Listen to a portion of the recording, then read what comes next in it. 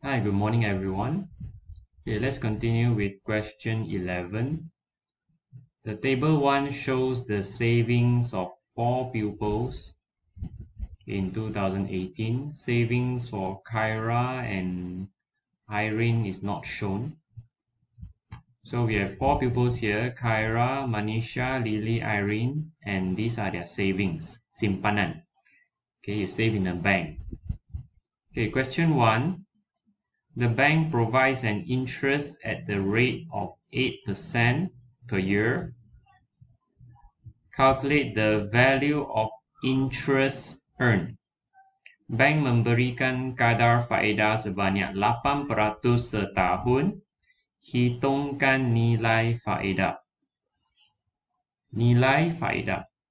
So the formula is the nilai faedah which is 8%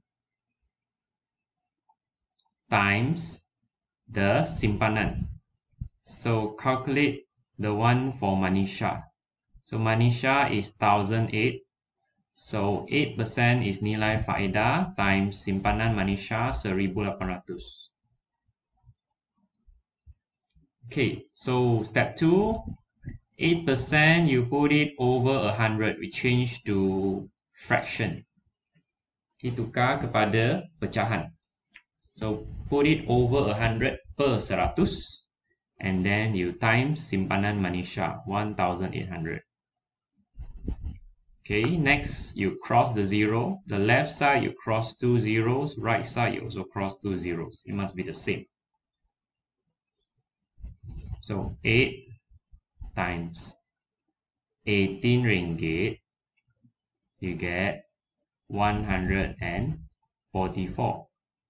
So this is the answer. The question asks for value of interest. You don't have to plus the saving. No need to plus anymore. Because the question only asks for the interest. How much interest is earned? Okay, if the question asks how much you will get at the end of the year, then yes, you have to plus the savings. But if the question only asks for interest, soalan tanya faedah saja, carilah faedah saja. 144. Okay. Question 2.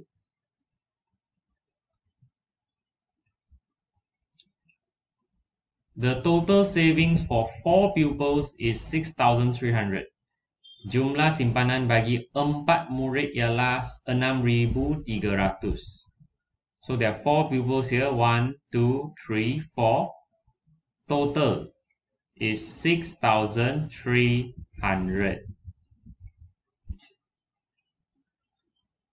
Kyra's saving is half of Irene's saving. Wang Kyra adalah separuh daripada wang Irene. Separuh. So that means who has more money? Irene has more money. Because Kyra's saving is only half. Separuh saja daripada Irene saving.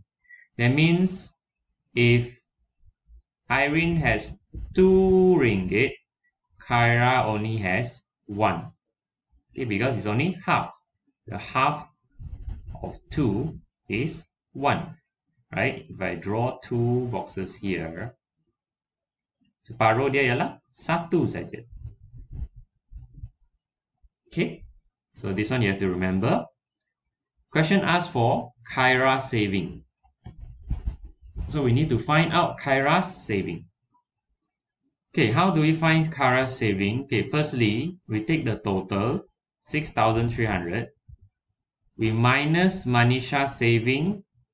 We minus Lily's saving, savings. And then the balance will be Kyra's and Irene's saving. Okay, so send number sentence number one 6,300 minus Lily saving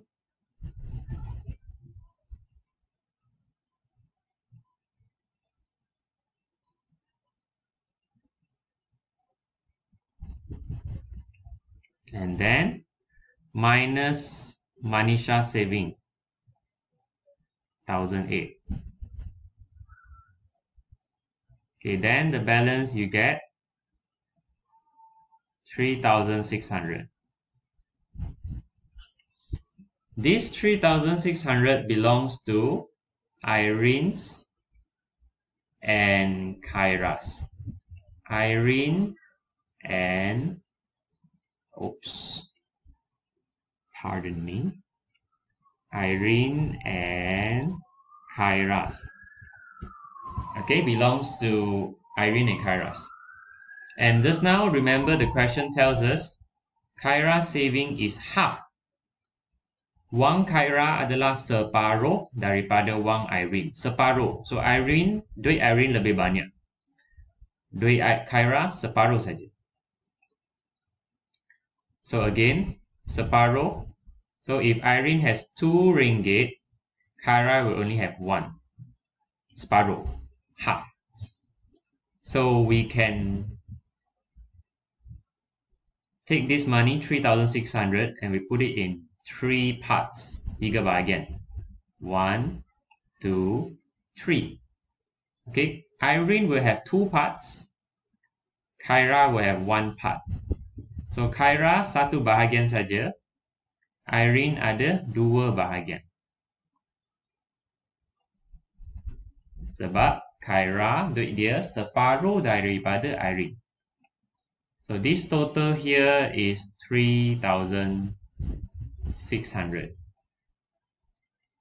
Macam mana kita tahu? Sebab kita kira dari sini. 3,600. Kita ambil jumlah 6,300. Kita tolak Lily punya.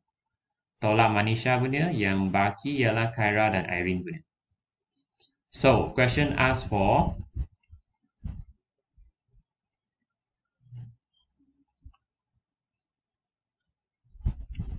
Question ask for Kyra saving only. Kyra saving only. So this is Kyra. K for Kyra. So this is one part only. Irene has two parts. Satu, dua. So 3600 number sentence 2 will be 3600 you divide 3 because we want to know one how much is one part satu bahagian berapa so you divide 3 ada tiga bahagian so kita bagi tiga lah Okay.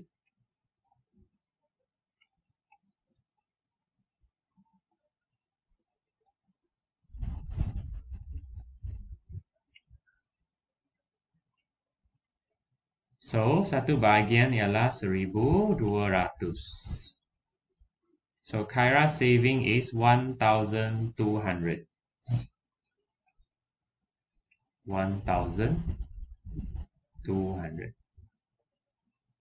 So how much is Irene saving? Irene ada dua bahagian. Nampak? Satu bahagian, dua bahagian. So if satu bahagian ialah 1200, dua bahagian ialah 2400. So Irene saving is 2004. Okay, remember to check your answers. Okay, lepas awak siap, check. Jumlahkan empat-empat orang ini. So 1002 plus 1008 plus 900 plus 2004 and check if your total is 6 is 6003 then yes you are correct